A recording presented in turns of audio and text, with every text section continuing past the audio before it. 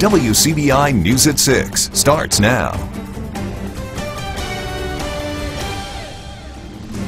Everyone, and thank you for joining us. I'm Selena Schaefer. It's been the top story today, the weather. There have been damage reports coming in from across the viewing area this afternoon in the wake of some strong passing storms. WCBI has news crews on the way to survey some of that damage. Now they'll bring us that report shortly. Right now, let's turn it over to Chief Meteorologist Keith Gibson for an update on today's storms. Keith?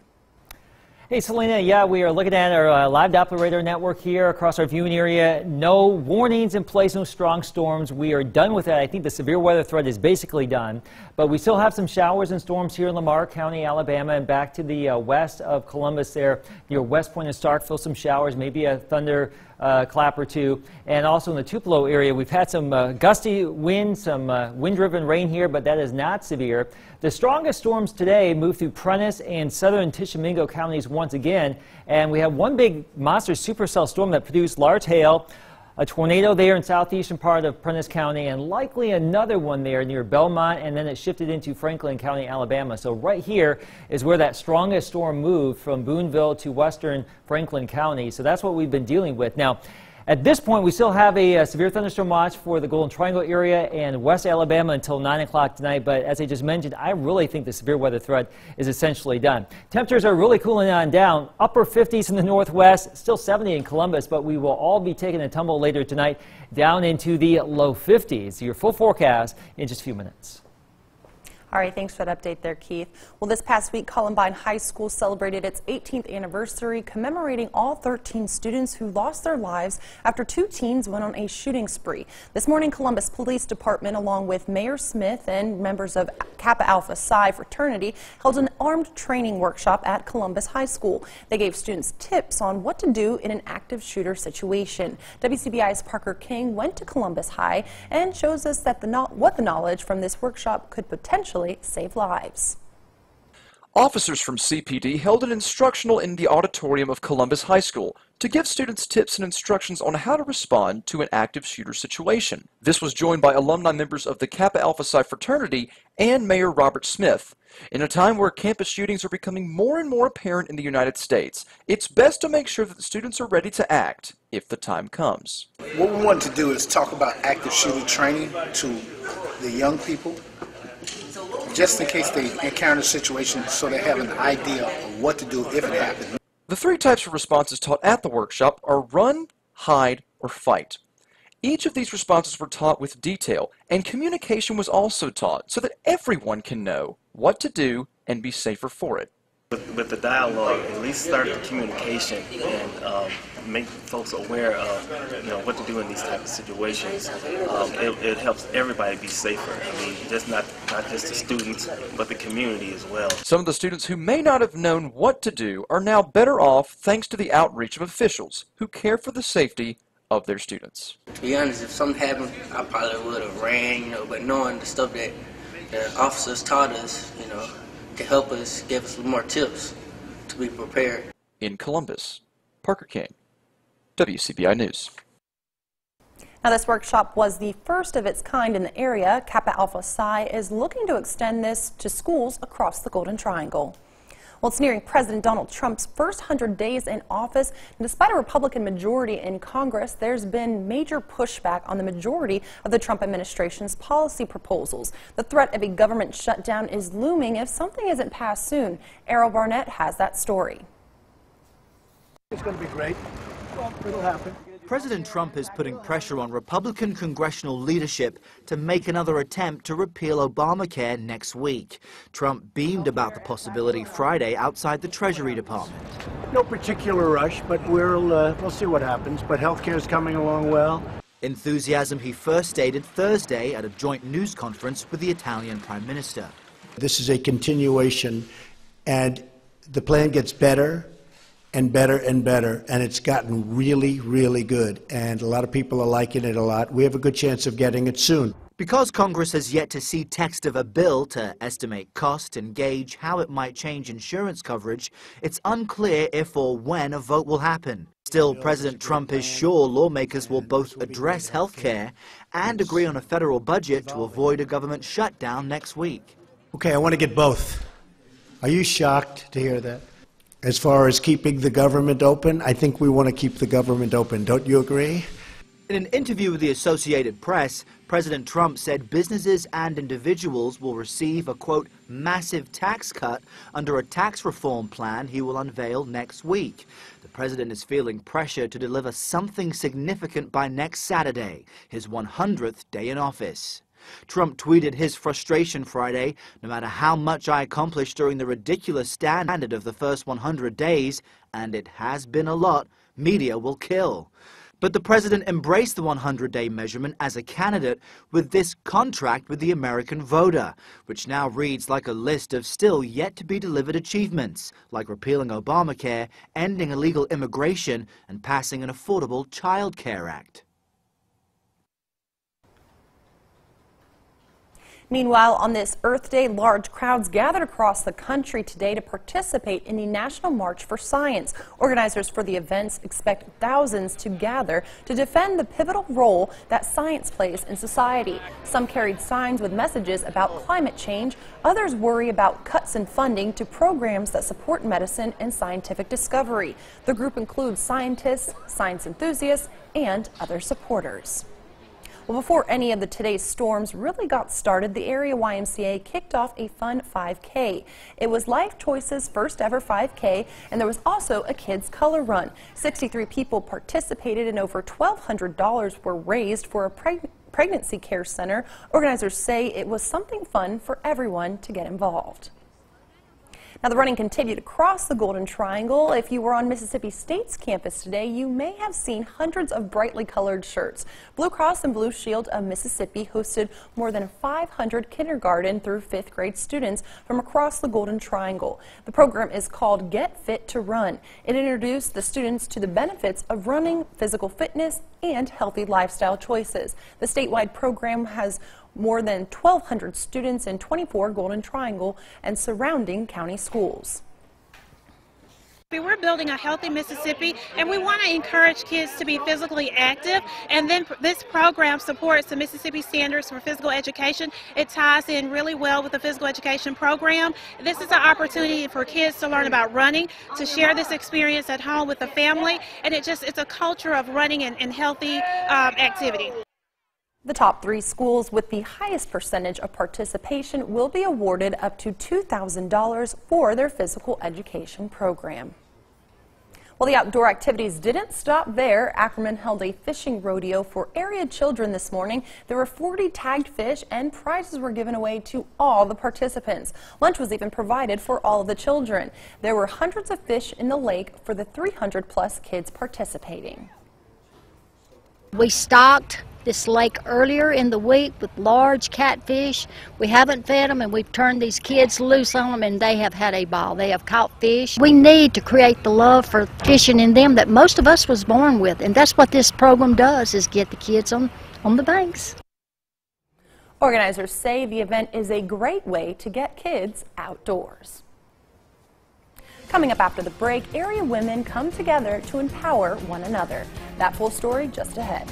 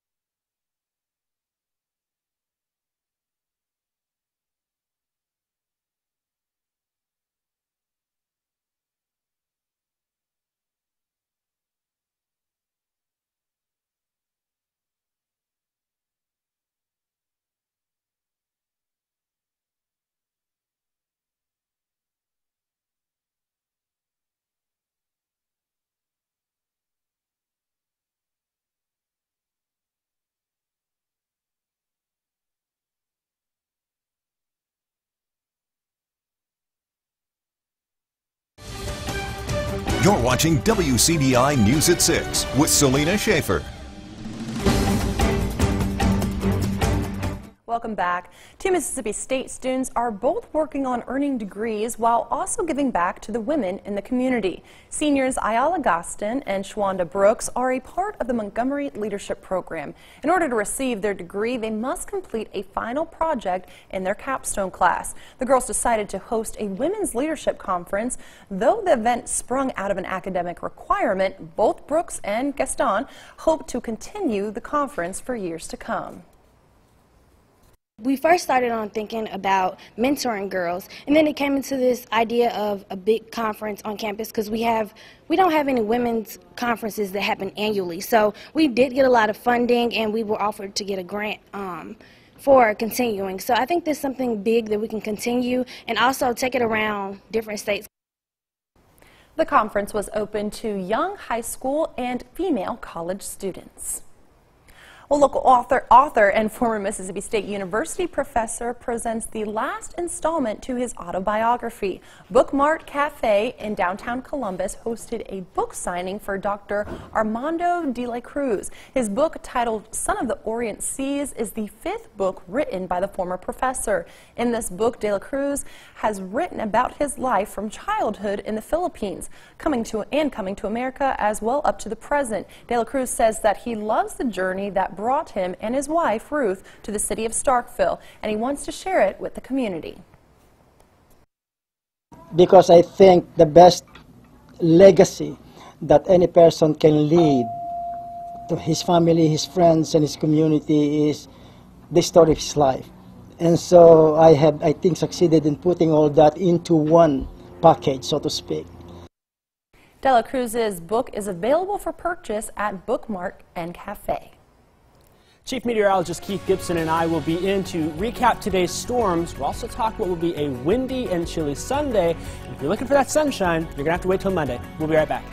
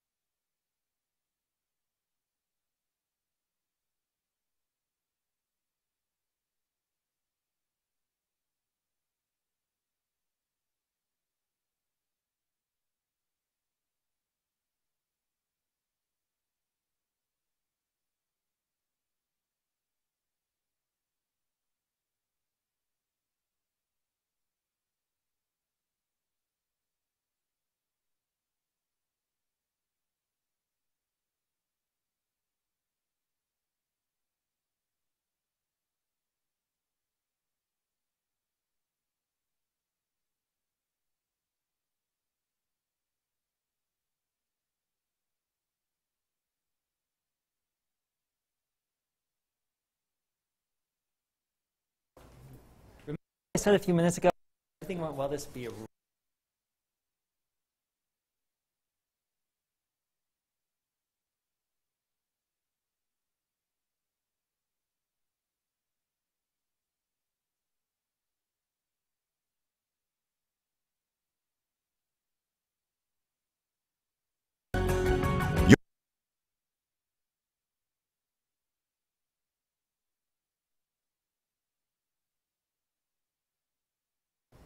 All right, we're back with our weather segment here. Jacob, your first severe weather day here at WCBI TV. Kind of exciting, I it guess, was, yeah? and it took so long because we've been really lucky so far for much of the spring We- until until today. days. Yeah, today was really the first confirmed tornado we've had in our coverage area all spring long. This is our active storm season, and we got a rogue storm that just decided to rotate. We were talking the last couple of days about how uh, we didn't really expect a tornado threat today just because the wind fields weren't right, but we got that one storm, and it only takes one storm. That's absolutely right.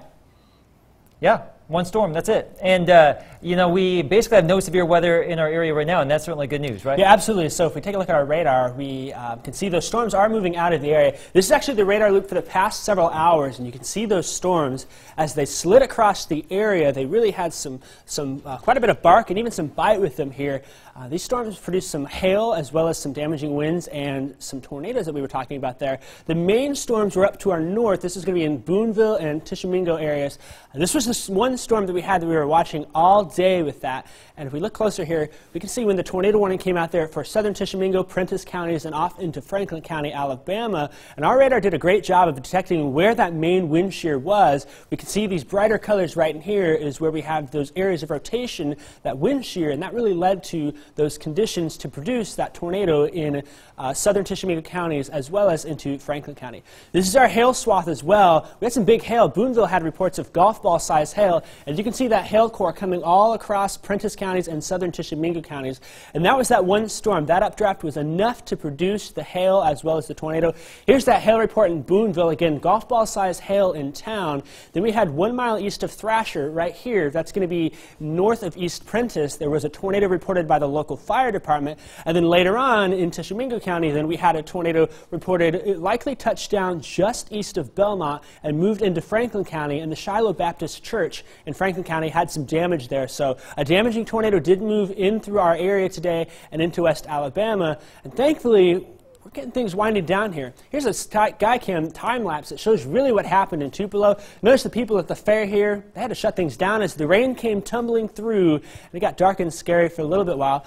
Once that rain comes through, watch how the clouds then go from right to left. That is from north to south, and that's that passage of the cold front that's picking up those winds quite substantially. We can see gusts across the area 10, 15, maybe even 20 miles an hour, and that's really cooling down our temperatures. We're seeing some 50s on the board, and they're going to become even more popular tonight as we drop those temperatures down into the low 50s, and we may even see an upper 40 on the board. I think most of us will stay in those low 50s. We're going to keep the clouds around tonight, and then tomorrow, then we're going to have to watch these winds really pick up. Overnight tonight, I think they will, but then tomorrow morning, we're really going to be blustery out there, and there's going to winds from 15, 20, maybe even gusts up to 30 miles per hour through the day on Sunday.